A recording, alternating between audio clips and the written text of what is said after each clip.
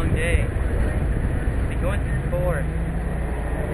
Yeah, man, I drove two and a half hours here to work. Go ahead.